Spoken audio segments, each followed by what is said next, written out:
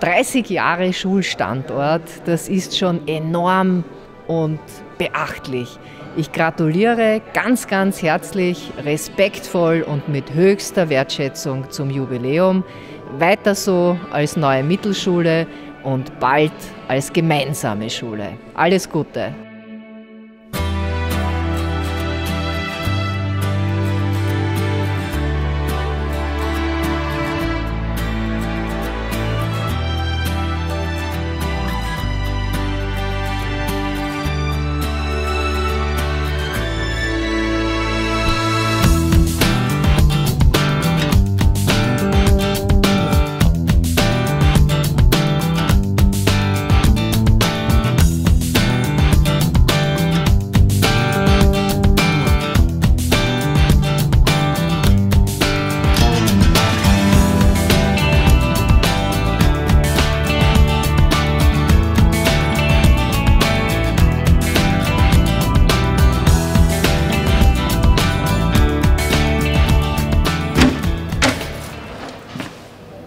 Macht denn ihr da? Was ist denn los mit euch? Der Unterricht ist ja schon lange zu Ende. Wir müssen so viel lernen. Jetzt ja, Max, so schlimm wird es schon nicht sein. Englisch ist ja gar nicht so schwer. Deutschprüfung habe ich auch noch. Ja. Und du, Julia? Na, Gewittest. Geredet. Über Kinder. Das schaffst du schon. Physik. Physik. Beim Herrn Anisser. Ja, Aui. Musst du viel lernen. das ganze Heft. Das ganze Heft. Das ist richtig so. Manchmal habe ich das Gefühl, dass sich das Lernen gar nicht auszahlt. Wofür die ganze Mühe? Ich glaube, ich habe eine Idee. Ich kenne da jemanden. Ja, wen denn? Lasst euch überraschen.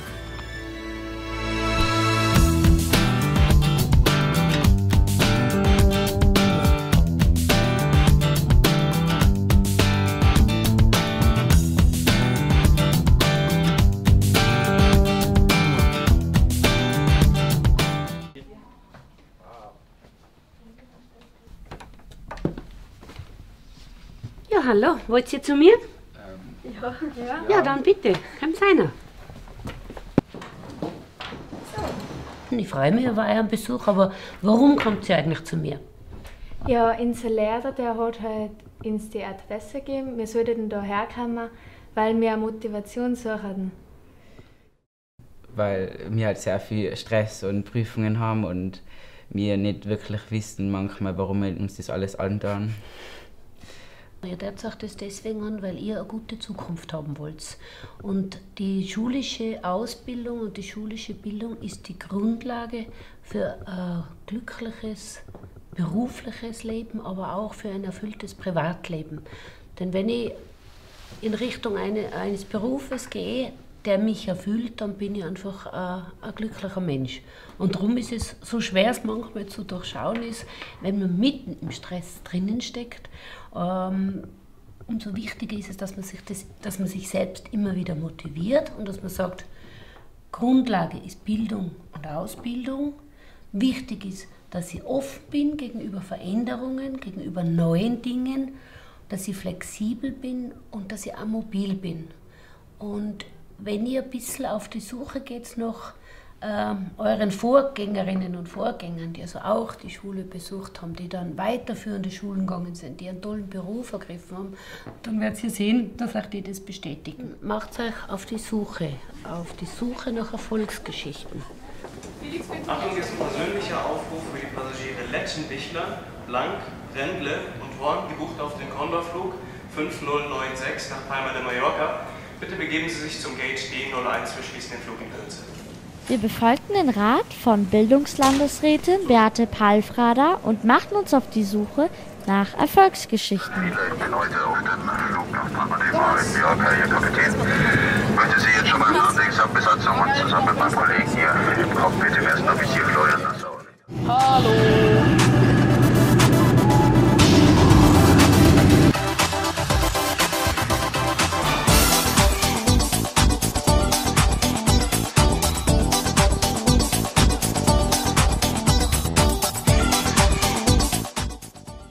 seiner Segelyacht begrüßte uns Bert Fankhauser.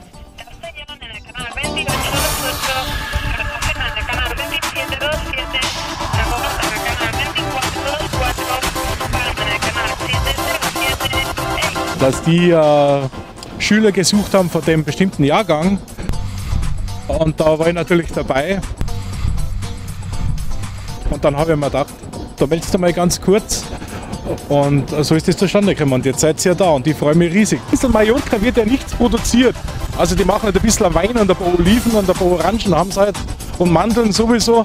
Aber alles andere, das ist, kommt alles mit dem Schiff.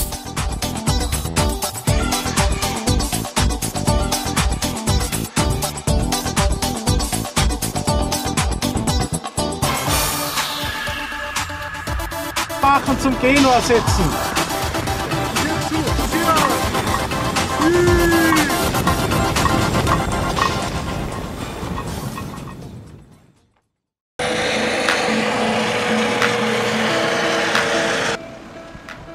Zweites Filmteam machte sich auf den Weg ins Bezirkskrankenhaus Kufstein.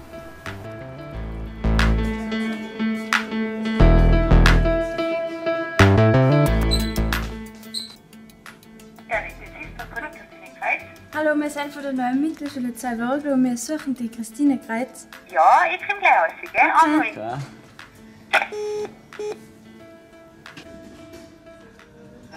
Christine Kreitz war ebenfalls Hauptschülerin in Wörgl.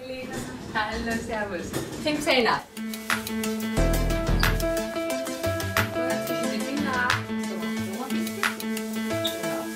Und da ist dann drinnen der heilige Raum, unser Aufenthalt, die Küche. Genau. Und da. Also wir haben uns jetzt ja gerade die Hände desinfiziert Mhm, und ja. wir haben jetzt also Schutzschürzen oder so was ähnliches an, wie Kochen. Genau. Und also es scheint jetzt nicht gerade eine ganz normale Station zu sein wie Ja, ja, das ist eben, eben interne Intensivstation, sagt man schon intensiv, gell? Ah. Also ist alles ein bisschen, äh, wie soll ich sagen, ja, ein bisschen mehr als wir auf der normalen Station. Ja, bei uns sind viele Leute mit Herzinfarkt, gell? Äh, Schlaganfall, Gehirnblutungen, äh, dann eigentlich was schlecht schnaufen. Die Raucher sind bei uns? Also, weil es ja heißt, meine Oma, wo auch eine Etzki, ist eine Etzki-Wohnung, hat geracht, gell? aber ich möchte jetzt das stimmt überhaupt nicht, weil die restlichen Prozente sind bei uns dann mit der Krankheit, gell, was einfach nicht mehr da schnaufen und hingen dann bei uns an der Beatmungsmaschine.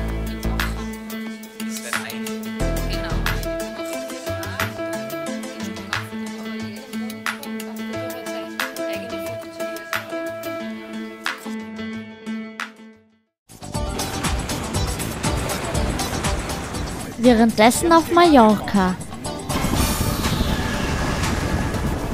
Wie kommt man überhaupt auf die Idee für sowas? Auf das Ganze da? Ah, das ist ein Hobby. Ja, da fängt man halt.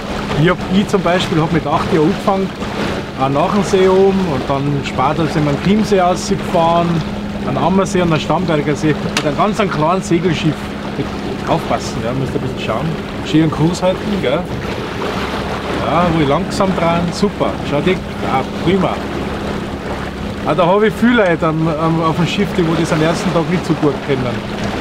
Das heißt, du hast beim Optimisten angefangen und immer weitergemacht. Ja, genau. Mit acht Jahren habe ich angefangen, bin Optimist. Dann bin ich schon ein bisschen zu Kurs gewesen. Ein paar Jahre später bin ich Optimist, dann ein Jole geworden. Und dann ist die nächste Stufen. Und ah, irgendwann bin ich halt einmal auf so ein großes Schiff. Oder? Und dann, ähm, dann habe ich halt angefangen, mit Gästen zu fahren. Das hat dir immer schon gefallen. Super, das ist halt mein Hobby. Oder? Ja, es, ist auch, es macht genauso viel Spaß als wie Skifahren. Apropos Skifahren, gehen die Berge eigentlich viel? Dass das abgegen Skifahren, ganze Schnee. Ja, schon.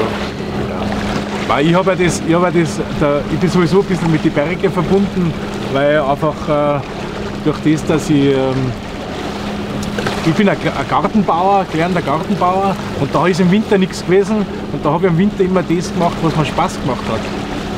Angefangen habe ich in jungen Jahren mit Skilehrer, dann bin ich Liftinger gewesen, dann bin ich und Skifahren, das ist sowieso jeden Tag auf die Ski. Dann habe ich Sanitäter gemacht und dann bin ich zur Pistenrettung nach Hof gegangen. Und das hat mir auch riesen Spaß gemacht. Und jetzt bin ich leider schon seit drei Jahren, seit vier Jahren nichts mehr gemacht. Ja, vermisse ich schon. Vermissen ähm, von Wir- jetzt mit dem Würgler zu ehemaligen Würgler. Wie ist es eigentlich so, sich voraussichtlich fürs Erste von Familie und von Freunden zu verabschieden? Weil ich kann mir vorstellen, mir das ist ziemlich schwer, wenn ich weg auf einer ganzen Ja, da hast, da hast recht. Weil man- Einmal ein Würgler, immer ein Würgler, oder? Und äh, wenn da, wenn's dann ein bisschen unterwegs bist, weltweit, ich bin ja nicht nur jetzt da auf Mallorca, ich war ja früher in der Karibik, Malediven, Griechenland, Türkei, bin überall ein bisschen rumgesegelt. Äh, da kriegt man schon Heimweh. Also das ist schon, wenn man dann länger jetzt nicht mehr daheim war, dann, dann fängt schon Drucken an. Da freut man sich schon, weißt, wenn man dann wieder, äh, wenn man mal wieder die Mama sieht, dann ganz fit und alle, oder? Und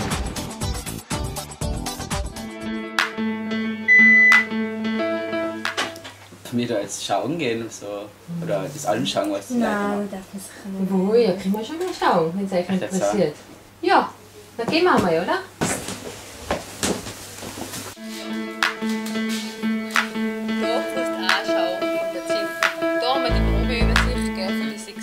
Also da hast du alle Möglichkeiten, dass du selber was einstößt. Aber das ist Ja. ja, alles ähm, voller kompliziert und ich kann mir das jetzt gar nicht vorstellen, dass man sich das alles Ja. merkt. Ja, wo Was das du geht. in der Hauptschule auch schon so gute Schüler Oh mein Gott, nein. nein. Ja, Durchschnitt, gell. Ich war jetzt nicht die schlechteste, nicht die beste, aber es ist alles zum Lernen, gell. Das ist, wenn dich was interessiert, nachher, und du merkst ja, das ist ja total einfach. Und wenn du jeden Tag mit dem arbeitest, dann ist das jetzt, du brauchst das eigentlich gar nicht lernen, weil das kannst du einfach nicht. Gell. Die obere ist, gell. So, Genau, das ist oder? Das eigentlich, gell. Kann man Krankenschwester auch gleich schon nach der Schule machen? Nein, das ist eine äh, Begrenzung vom Alter her. Gell? Also äh, mit 17 kannst du erst anfangen mit der Schule. Und früher war es so, dass die äh, Höchstgrenze bei 35 war. Und bei mir war es auch so, ich habe erst mit 33 angefangen, weil ich mir gedacht habe, ja, jetzt wäre ich noch 35, jetzt kann ich noch nicht mehr Krankenschwester werden. Jetzt muss ich mich beeilen, wenn ich es noch da möchte. Weil das wollte ich eigentlich alle schon da, gell? Ich habe Mhm. mit 14 habe ich äh, Verkäuferin gelernt, Parfümerieverkäuferin.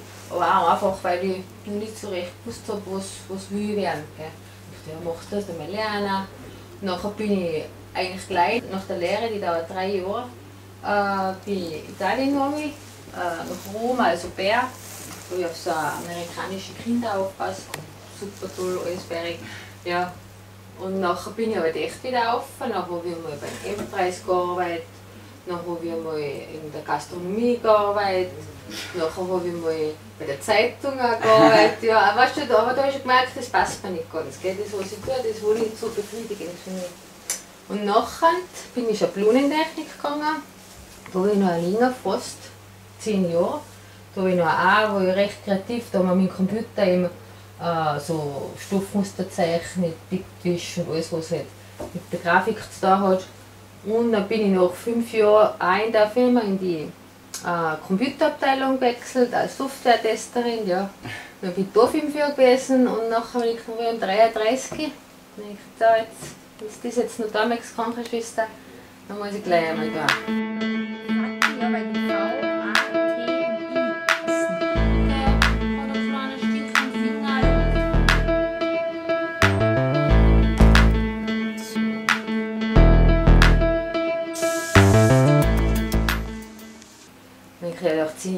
Jahren jeder sagt, nein, das kostet jetzt nicht, du hast einen super Job, für der ist gut.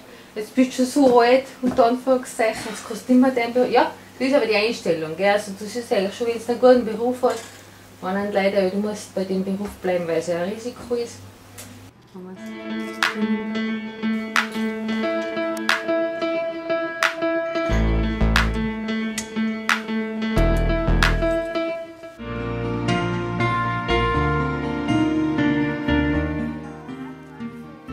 Team Nummer 3, Melanie und Julia, wurden in Brandenberg fündig. Dort betreibt Markus Treichel die Naturerlebnisschule Tirol.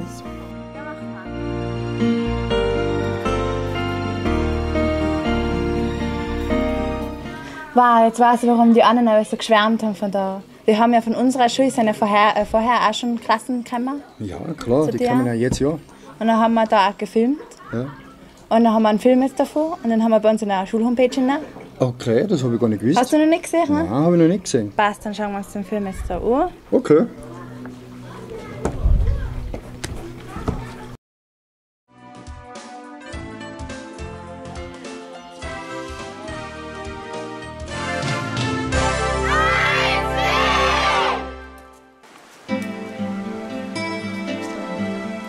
Also wir sind in Brandenberg, dass man sich kennenlernt. Wir schlafen dann in so ein Tipi hinein.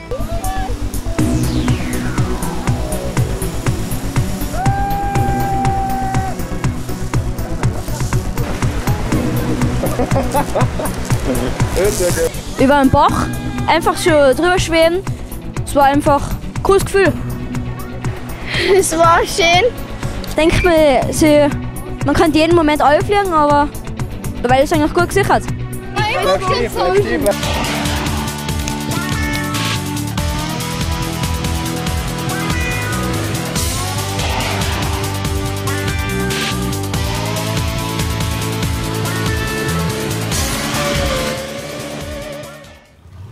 Wow, das schaut aber bärig aus. Da haben die Kinder wahrscheinlich einen heiden Spaß gehabt bei dir. Ja, die Filme an sich sowieso. Nein, gefällt mir auch total gut. Die Kinder haben immer einen riesen Spaß, so wir als Team auch. Ja, Und da, ja, wir lieben unseren Job. ja da die auch sagen. Und warum kommen denn da die ganzen Schulklassen daher zu dir? Warum die kommen? Also so wie da jetzt zum Beispiel die Hauptschule von Wörgl, Mhm. die kommen als Kennenlerntage zu uns. Kennenlerntage sind insofern wichtig, weil sich da einfach zusammengewürfelte Klassen, die was sich vorher nicht kennt haben, Mhm. die Schüler untereinander, die lernen sich bei uns da ganz intensiv einfach kennen, machen gemeinsame Teamspiele, Teamübungen, Action, Fun, Ja. einfach richtig ein Beisammensein, abseits von Handy und Fernseher und Facebook. Ja. Ich weiß, das geht eng an, aber da herinnen vermisst es keiner mehr. Egal, was für eine Aktionen das wir machen, ob eben so, wie wir da jetzt gerade gesehen haben, eine Bachüberquerung mit Seil, Ja. mit ein bisschen Rambazamba dahinter, oder ob jetzt das einfach Gemeinschaftsspiele sind, wo man mal miteinander denken muss, nachdenken muss, eine Aufgabe erfüllen Mhm. muss. Oder ob es nur das gemeinsame Sitzen am Lagerfeuer ist. Ja. Und da eine Gruselgeschichte hören, ein bisschen miteinander ziehen dann einmal manchmal, weil das schafft es auch in Enkenalter alle noch ganz gut. Ja. ja, und da haben wir eigentlich dieses super Feedback, was wir immer wieder zu hören kriegen von den Lehrpersonen, aber auch natürlich von den Schülern. Gell.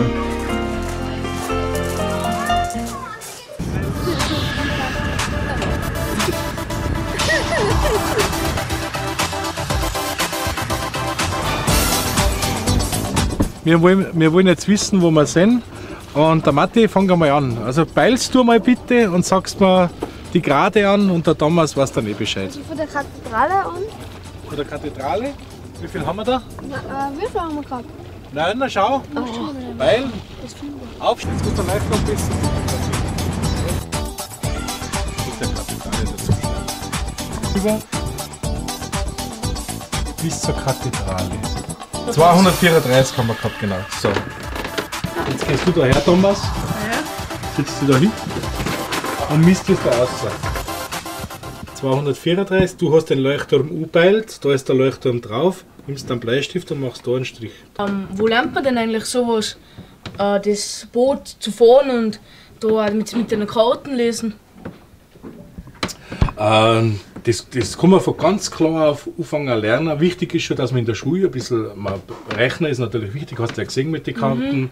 Äh, Englisch ist ja auch nicht verkehrt, weil die Funksprache, da mit dem Funkgerät, äh, Englisch ist einfach die internationale Funksprache und da ist es schon gut, wenn man ein bisschen Englisch kann, weil Ja. das nutzt nichts, wenn ich dann da außen umeinander fahre und der erzählt mir irgendwas, dann sage ich, pff, keine Ahnung, was Ja. er will. Naja, Englisch und Ding, und das kann man lernen. Das kann man, man kann ja, wenn man so alt ist wie du zum Beispiel, da habe ich auch angefangen. Und da habe ich mit einem kleinen Schiff angefangen und das ist dann immer von Jahr zu Jahr ist das mehr geworden. Aha. Ja, cool, das möchte ich auch gerne machen. Was muss man da so eigentlich nach der Schule machen, um das zu lernen? Skipper, also nach der Schule zum Beispiel, wenn du fertig bist mit der Schule, das ist eine tolle Sache, das Skippern. Das kannst du nach dem Lehrberuf auch machen. Wenn du jetzt wahrscheinlich lernst dann irgendwas, weiß ich nicht, was du vorhast. Dann wirst du ein bisschen was lernen und dann kannst du das nebenbei noch machen.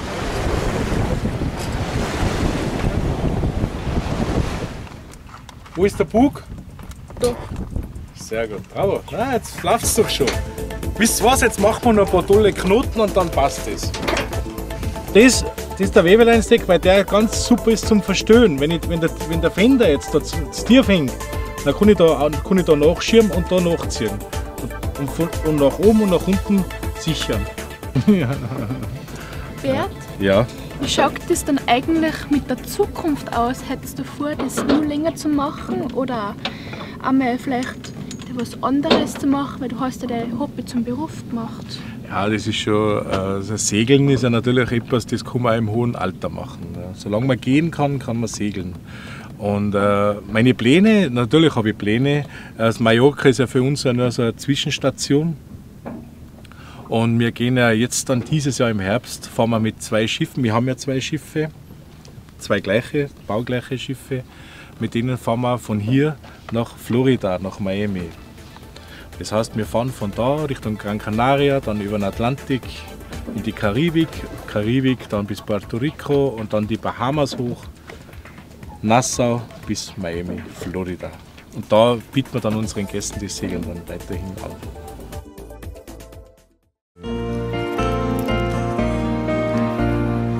Weil da sind so viele Kinder, da können wir mal da umschauen. Ja, natürlich, gern. Zeige eigentlich. Wie bist du denn auf die Idee gekommen, dass du jetzt so ein Camp machst? Dass ich auf die Idee gekommen bin, ich schon als junger Bursch. Ich wollte das eigentlich selber schon machen. Interessanterweise war das ein absoluter Jugendtraum von mir. Aber mit Leid durch den Wald gehen und einer das Leben im Wald sagen, das, den Gedanken habe ich schon mit 18 gehabt. Dass ich da im Brandenberg gelandet bin, das war ein glücklicher Zufall. Also eine so schöne Gegend, so ein Platzl da zu finden und das auch noch zu kriegen, das ist natürlich ja, mein Traum gewesen und ich habe mir meinen Traum erfüllt da herinnen. Und jetzt äh, seht ihr, alles was da ist, was da seht, habe ich mir meine eigenen Ente gebaut. Ja, Schatz, dann kann ich die Tipp du. Können wir mal da reinschauen, gell? Ja, gern, schauen wir mal rein. Der Feine zu eng. Ja, nicht nah. Da machen sie es gemütlich. Manche haben es ein bisschen sauberer wie sie, aber das passt ganz gut. Gell, Valentina? Ich will mal da einen ganz saustehen. Ja, ja. So. Das will Bescheid sein. Und das hast du alles selber gebaut da? Das habe ich alles selber gebaut, ja. Zusammen mit einem guten Kollegen und manchmal noch mit ein paar Freunden. Ja, die haben einen Spaß. Was?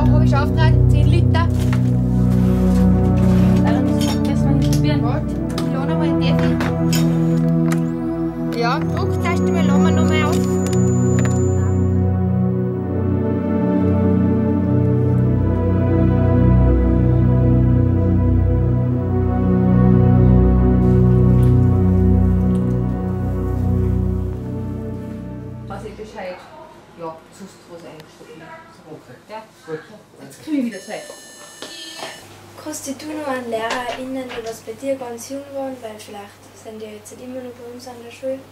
Ja, Klassenvorstand haben wir die Grindelbacher gehabt, dann die Kreidel Anita. Anita, die vielleicht die Kind haben wir. Kennst du? Ja. Noch bei euch? Ja, die haben wir in der ersten Klasse in Biologie gehabt. Und die haben jetzt Okay. die zweite Leistungsgruppe hat sich gedacht in Englisch. Ach so, ja, Englisch, genau. Englisch haben wir es gehabt, das weiß ich noch. Ja. Und wer wer hat da gesagt? Ja, nett. Ja, ja. muss ich auch schon mal. Und wer war damals Direktor? Direktor war bei mir der Ralf. Und der Kleiner. So gut geknutscht Mutter will gehabt, du hast so schon gehört, wie ein Gang entlang gegangen ist, aber geknirscht mit dem Holz gefallen, ja. Und sie war schon hingeguckt, dass ein bisschen ein resolut da war. Ja, wie hat denn das da damals so ausgeschaut? Die zwei Hauptstunden hat es ja nicht so lange gegeben. Nein, die Zwarer Hauptschule hat es noch nicht so lange gegeben. Ich kann mich damals noch erinnern, wie ich in die Hauptschule gekommen bin. Äh, da hat es für die Dirndler noch die Barackenschule nebenbei gegeben. Da waren noch die Burmen und die Dirndler getrennt. Es hat dann einmal angefangen, plötzlich, da ist ein Klasse dann in der Einser Hauptschule damals ist gemischt worden, Burmer Dirndler, das war ja ganz was Neuartiges für uns. Ja, und wann ist die Zwarer Hauptschule erbaut worden oder wann ist die eröffnet worden? Ja, die Zwarer Hauptschule die ist damals eröffnet worden, das war 82, wenn ich mich richtig erinnere. So 82, 83 ist die eröffnet worden, da sind wir oft schon fast ausgeschwült. Oder eigentlich ausgeschwült, so muss ich sagen. Und war es da laut, oder? Nein, wir haben das also nicht so als große Beeinträchtigung gefunden, muss ich sagen. Im Gegenteil, wir waren eigentlich froh, äh, dass die Schule so modernisiert wird. Und man sieht ja jetzt die positive Entwicklung in der Würgler Hauptschule, weil man hört eigentlich äh, immer mehr Gutes und alle, was ich jetzt momentan kennenlernen darf, da erinnern auch, auch überhaupt die ganzen Lehrpersonen, alle, was da so mitkommen, das sind richtig tolle Leute mit viel Engagement. Die jungen Lehrer äh, wollen neue Sachen, wollen äh, mehr Gemeinschaft in der Klasse, wollen mehr Gruppendynamik in der Klasse. Dadurch arbeiten die Jugendlichen auch viel besser miteinander.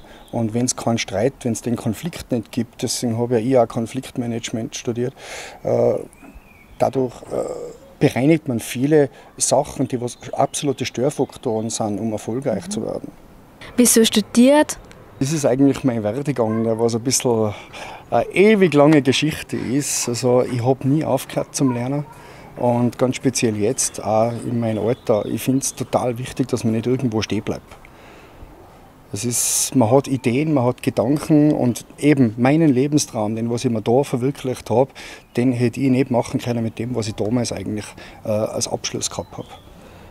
Ich habe zwar eine tolle Lehre hinter mir mit Auszeichnung, Meisterbrief und, und, und, und, und, aber trotzdem, man braucht dann eine Weiterbildung, äh, mit der was man dann ja, sowas machen kann.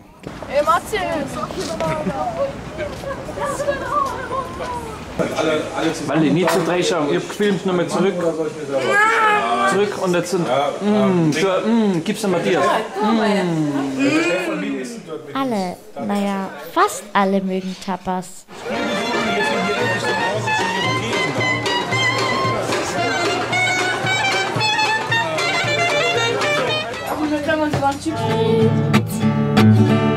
War eine Biene sehr bekannt. Alles weit und breit.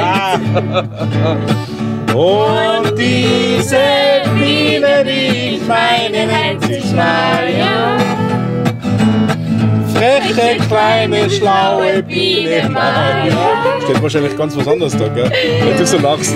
Maria fliegt durch ihre Welt.